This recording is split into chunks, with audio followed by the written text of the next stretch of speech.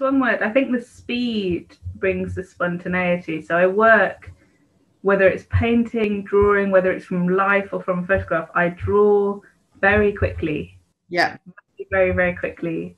Um, and I know that my best drawings are made very quickly. And, and it may not be that the whole drawing is made quickly, but certainly the first few marks, the first layer is almost like in one breath, like there's a kind of um, there's a which which does happen in, in my work and, and having started to use uh, my phone to record how I draw to actually see my own process. Okay. Even yeah. more so, I was aware of it because I teach and I um, have have uh, always been aware really of how I how I draw. I used to I've always drawn quite quickly, but the seeing it in real time it's like wow that's ridiculous